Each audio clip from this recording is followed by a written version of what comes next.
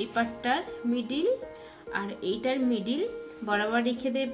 আর এই যে দাগটা দিলাম, এই দাগটা আর এখানে যে কোনটা আছে, এই কোন দুটোকে মিলিয়ে রেখে দেব এইভাবে।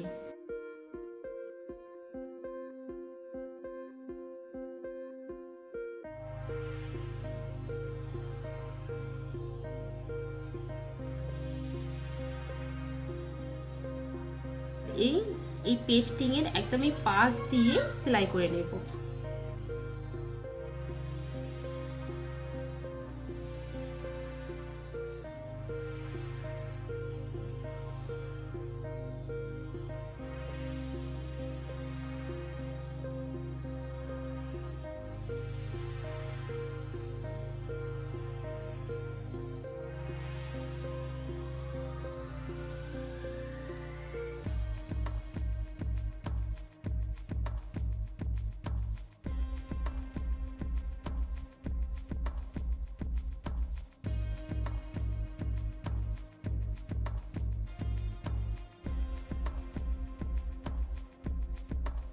থেকে কিছুটা কাপড় রেখে দিয়ে কেটে নেব।